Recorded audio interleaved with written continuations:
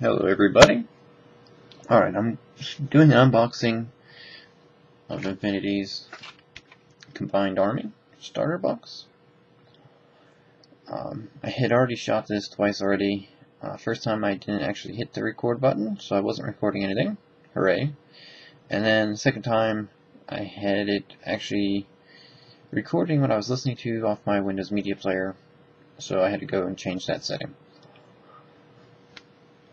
So, these are called, what is it, Morat?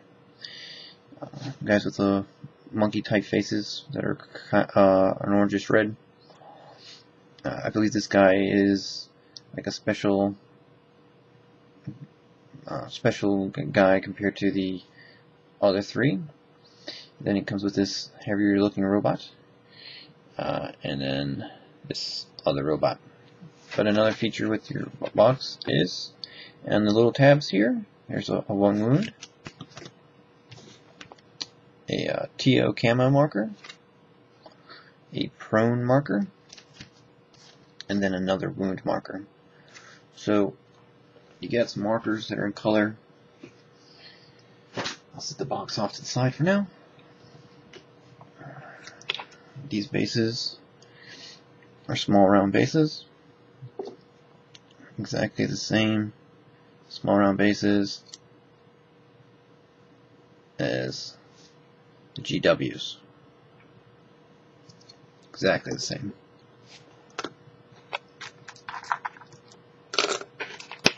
So I'll take those out.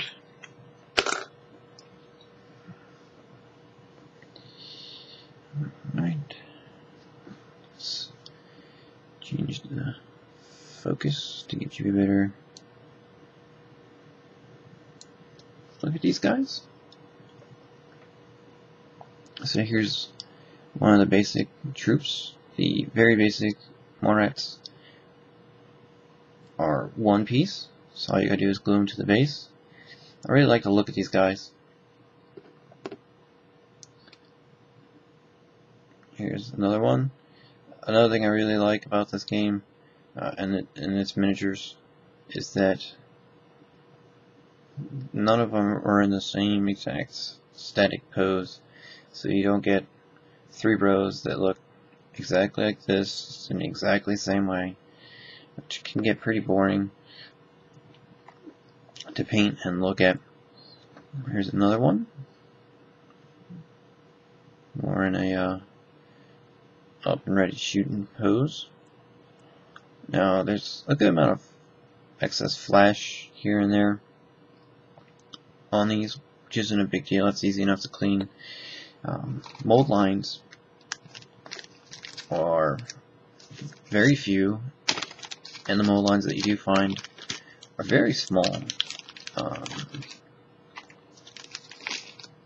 so the next three guys all come in pieces. Here's the, the big robot guy. Well, I guess he's probably just really in heavy armor.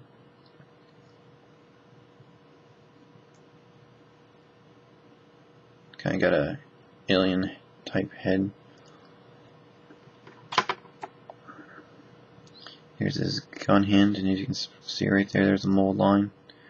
But it might be easy to spot, but it'll be easy to get rid of as well, so that's always nice.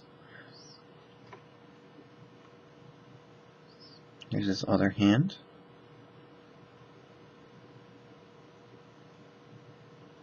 Slash arm.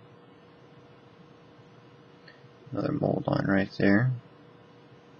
Like I said, they're super light, so not too big of a deal. Some little type of spiky bit, probably like a sensor array or, or some way to try to help keep it balanced. A couple more that stick out the back. Alright, so there's the same functionality other than just make the model look cool.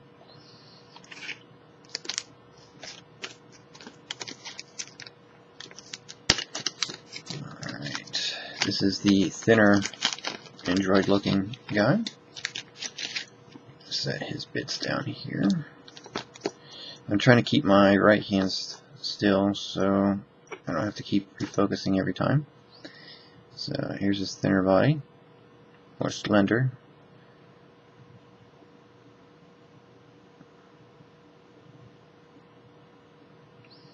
Now, one of the nice features about this model,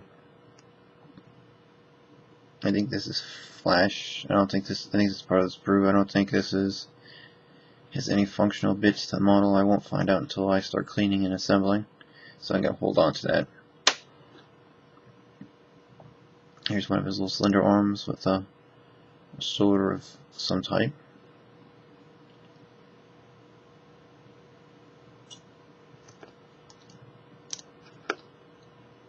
Here's his arm with the gun.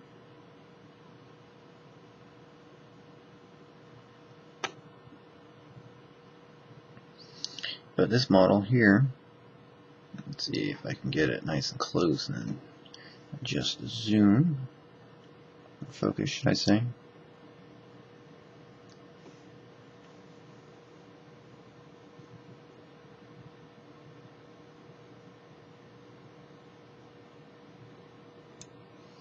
He gets two different faces that you can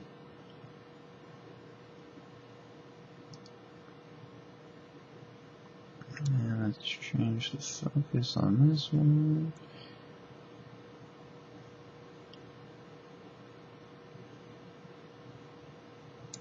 Probably about as best as I'm gonna get.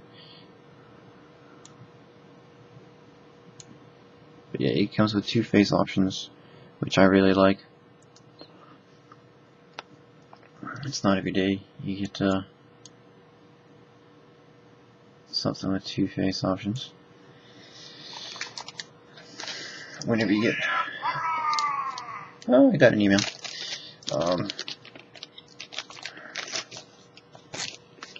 I, I, like it when you get some optional uh, pieces to try to help make your guys look a little different. Alright, I have to go back and refocus on the manager.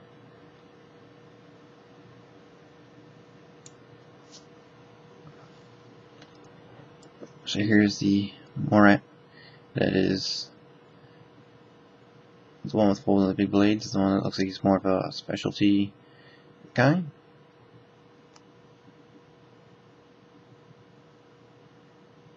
Like I said, they kind of they kind of got a um, like a an ape-like type face.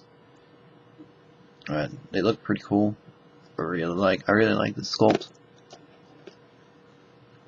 and uh, he's got his blade that comes along the back, so behind him, and he's holding on to the hilt. At first, I thought the gun was supposed to go up here to the front. Uh, I have no idea where the, the actual gun is supposed to go. Oops. No, don't fall.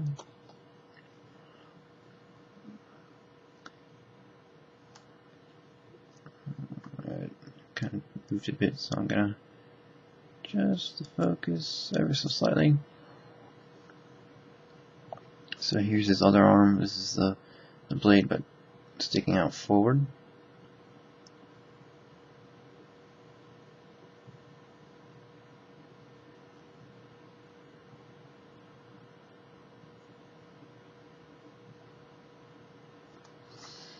And so, gotta be more careful.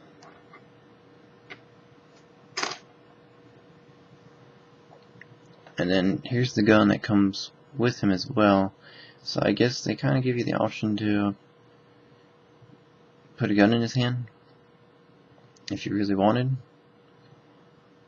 Or you just have to figure out somewhere to strap it. I guess this little nub. If I probably look on his body, I might find a place where this nub goes. And uh, that probably glues onto him somewhere. So,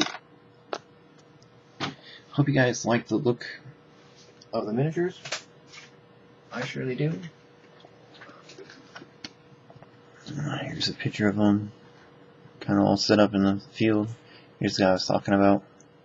As you can see, the blade comes up behind here. There's the hilt. Then the other blade goes off to the side. Can't really see anywhere the gun is. This is the big heavy guy, and there's one the little tendrils, and the other tendril Can't see where the other one is. It's probably somewhere in his backpack. And then uh, here's the cybernetic guy, obviously with one of the head options on. Uh, he's the one with the little like bandana type things off to the side. It's the one they chose for that model. And then the other two static rows. So hopefully I'll get these guys set up and, and done up sometime soon. I'm not too sure if I'm going to go with the studio art for these guys. I think I'm going to keep the face color. I really like um, the look of that uh, face color. So it means I'm going to have to go off and probably buy some orange. Because all I have is fluorescent orange. Alright, I'm gonna cut this video because all it is is an unboxing. Happy wargaming, everybody.